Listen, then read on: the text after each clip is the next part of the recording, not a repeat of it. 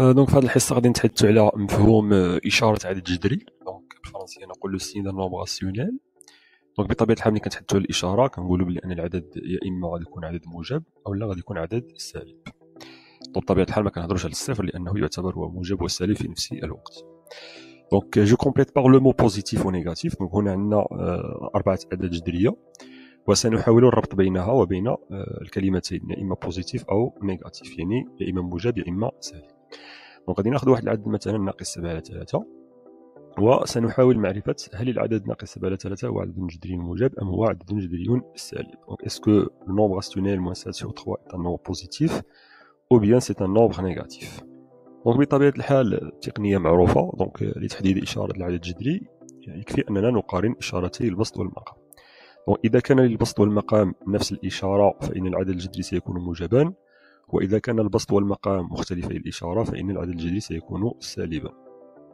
ولكن هناك بعض الحالات التي تختلف يعني تحتاج إلى آه، تدقيق أكثر. donc نأخذ المثال الأول ناقص 7 على 3 donc le nombre rationnel moins 7 sur 3 donc هنا نلاحظ أن البسط ناقص 7 والمقام 3 ليس لهما نفس الإشارة. وبالتالي سنقول مباشرة بأن هذا العدد الجذري هو عدد جذري سالب. donc le nombre rationnel moins 7 sur 3 est un nombre rationnel négatif.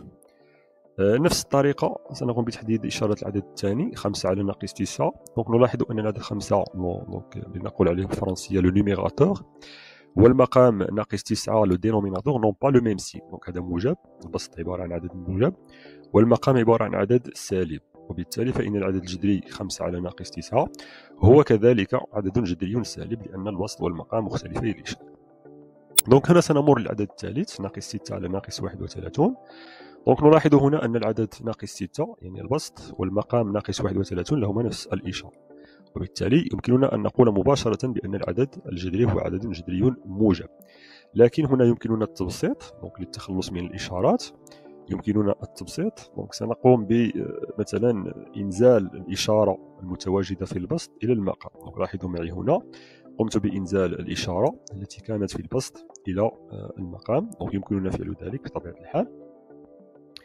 وبعد التبسيط سنحصل على العدد 6 على 1 هنا آه، بطريقة أخرى بطريقة رياضية آه، ناقص 6 هي 6 في ناقص 1 وناقص 31 هي 31 في ناقص 1 donc يمكننا الاختزال بناقص 1 فنحصل على العدد 6 على 31 donc هذا العدد الجذري أصبح لدينا الآن 6 موجب. والمقام كذلك 31 موجب. فإن العدد الجذري هو عدد جذري موجب بطبيعة الحال يمكننا الإجابة عن السؤال مباشرة لأن البسط هنا والمقام لهما نفس الإشارة. هذا يعني أن العدد الجذري عدد جذري موجب. المثال الأخير donc هنا المثال يختلف عن الأمثلة السابقة.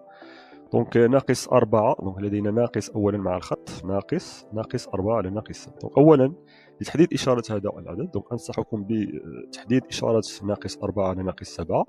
ثم بعدها استنتاج إشارة العدد ناقص ناقص أربعة على ناقص سبعة donc نلاحظ أن ناقص أربعة على ناقص سبعة بما أن البسط والمقام لهما نفس الإشارة فهذا يعني أن العدد ناقص أربعة على ناقص سبعة هو عدد جذري موجب وعندما آه، نقوم بإضافة الإشارة المتواجدة هنا مع الخط الخط, خط الكسر.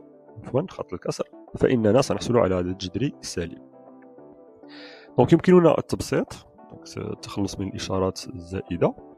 donc أولا سنقوم بسحب الإشارة المتواجدة مع العدد ناقص أربعة. donc هنا ناقص أربعة ما هي إلا أربعة في ناقص واحد. donc يمكننا سحب هذه الإشارة إلى خط الكسر. فنحصل هنا على ناقص واحد في ناقص واحد التي تساوي بطبيعة الحال واحد.